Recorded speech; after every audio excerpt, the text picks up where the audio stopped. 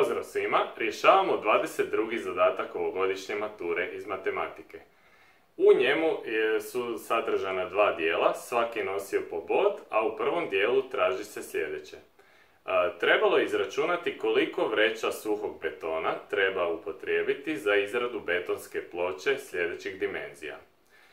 Dakle, betonska ploča se sastoji od dijela koji se nalazi između kvadrata i kruga koji je unutar tog kvadrata e, i isto tako betonska ploča ima debljinu od 5 cm. E, kvadrat ima stranicu od 2 metra, a promjer ovog kruga koji je unutar njega je 1,2 metra, što znači da je polumjer 0,6 metara.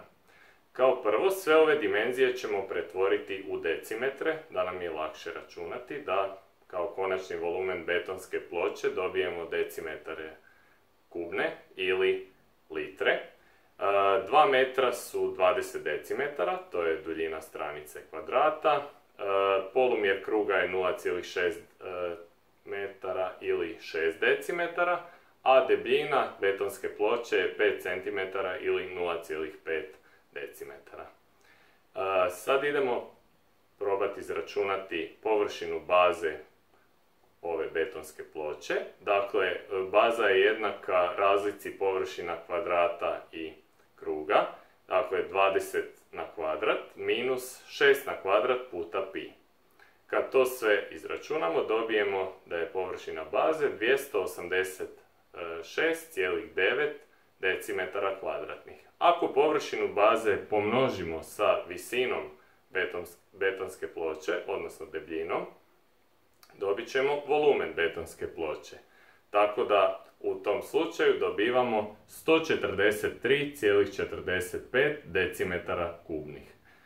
Sad ćete vidjeti zašto je bilo bitno sve pretvarati u decimetre, zato što je u zadatku zadano da jedna vreća suhog betona sadrži volumenski 12,5 litara ili decimetara kubnih. I sad ćemo mi jednostavno podijeliti ovih 143,45 sa 12,5 litara i na taj način dobiti 11,48. Što nam znači da moramo iskoristiti 12 vreća suhog betona. I to je konačan odgovor u ovom zadatku. U drugom dijelu ovog zadatka traži se da izračunamo koliko puta mora biti veća visina stožca od visine valjka da bi ova dva geometrijska tijela koja imaju istu bazu, odnosno e, polumjer baze im je jednak, e, da bi imala isti volumen.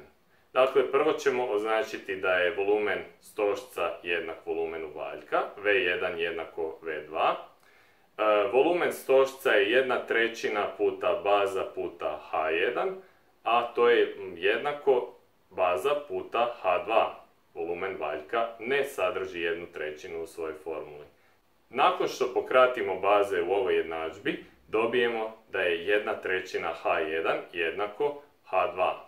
Kad pomnožimo to sad sa 3, dobit ćemo da je H1 jednako 3H2. Odnosno da je visina stožca trostruko veća od visine valjka. I to je konačan odgovor.